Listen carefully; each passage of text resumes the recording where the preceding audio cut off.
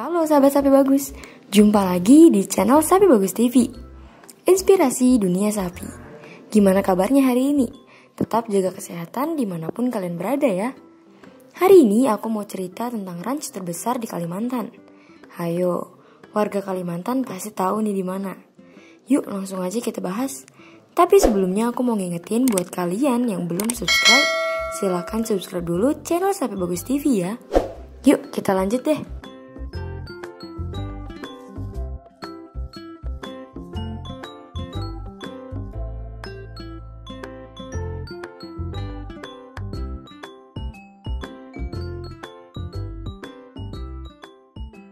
Selama ini, pemeliharaan sapi di Indonesia banyak dilakukan menggunakan sistem ranch yang ada di Provinsi Nusa Tenggara Timur.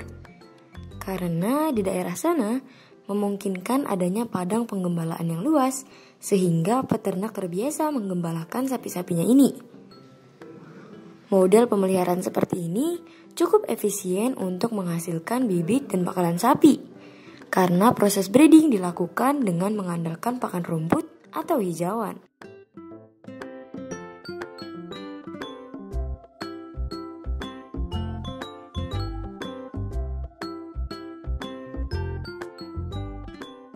Berbeda dengan tempat lain seperti di daerah Kalimantan, terkenal memiliki tanah yang subur dan banyak perkebunan sawit yang berskala besar dengan ribuan hektar pohon sawit. Para peternak di sana banyak mengembalakan sapi-sapinya di perkebunan sawit tersebut.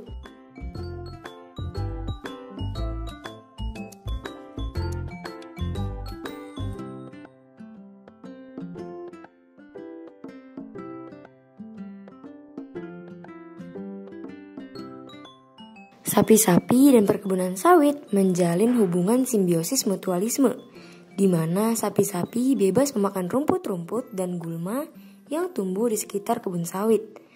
Mereka juga mendapatkan pakan tambahan berupa pelepas sawit hasil pemangkasan dan limbah dari industri sawit seperti bungkil sawit dan lain sebagainya.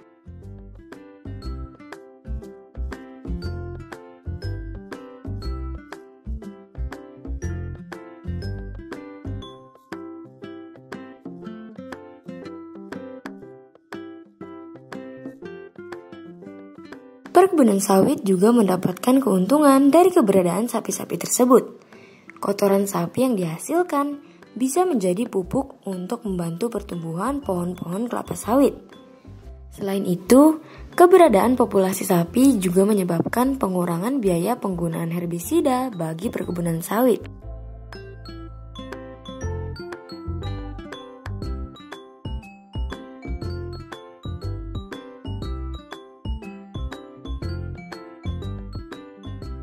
Cara ini dinilai cukup efisien karena peternak di sana fokus pada proses pembibitan atau pengembangbiakan, bukan pengemukan sapi.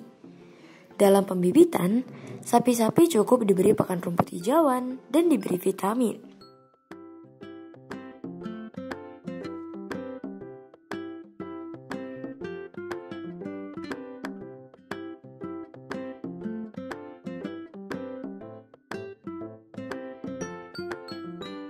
Ranch terbesar di Provinsi Kalimantan adalah Sukamara dan Sulung Ranch yang dibangun oleh Bapak Haji Abdul Rashid dan berlokasi di Desa Sulung, Kecamatan Arut Selatan, Kabupaten Kota Waringin Barat, Provinsi Kalimantan Tengah.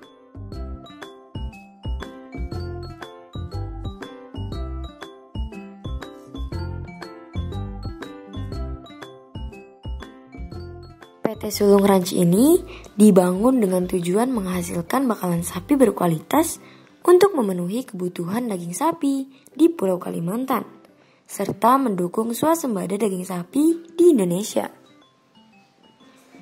Ranch ini menerapkan sistem peternakan yang terintegrasi dengan perkebunan kelapa sawit milik PT Sawit Sumber Mas Sarana Tbk, yang sama-sama merupakan anak perusahaan dari Citra Borneo Indah Group.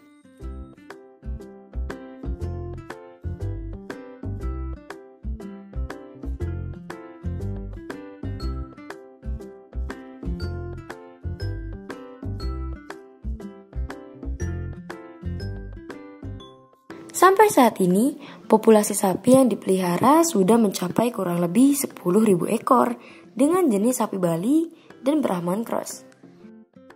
Seiring berjalannya waktu, bertambahnya populasi sapi ini kian banyak dan tidak sebanding dengan lahan perkebunan yang tersedia. Maka dari itu, sebagian dari sapi-sapi tersebut dipindahkan secara berkala ke PT Prima Nusantara Abadi Kobar yang berlokasi di Kecamatan Sukamara, Provinsi Kalimantan Tengah.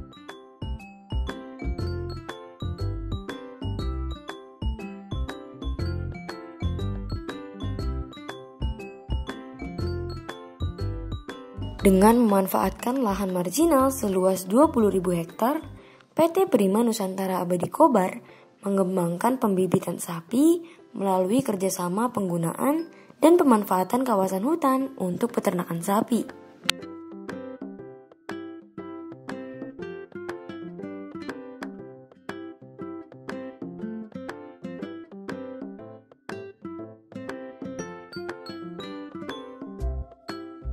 Lahan yang sudah mati tersebut berhasil disulap menjadi padang penggembalaan yang sangat luas dan dijadikan sebagai peternakan sapi.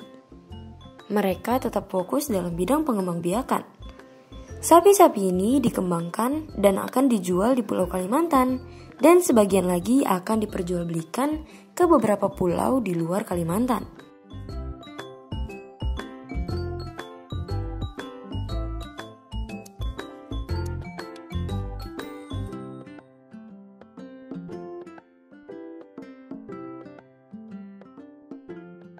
Populasi sapi di sana diperkirakan 1 banding 20 antara sapi jantan dan juga betina.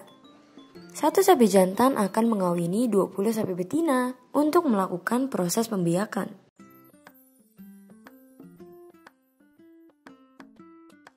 Sapi Bagus Farm menyediakan molasses dalam berbagai ukuran.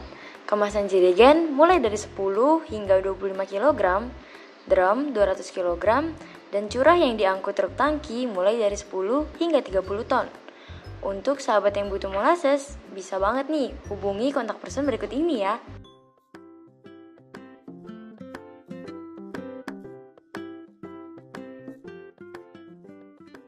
Wah, warga Kalimantan mana nih suaranya?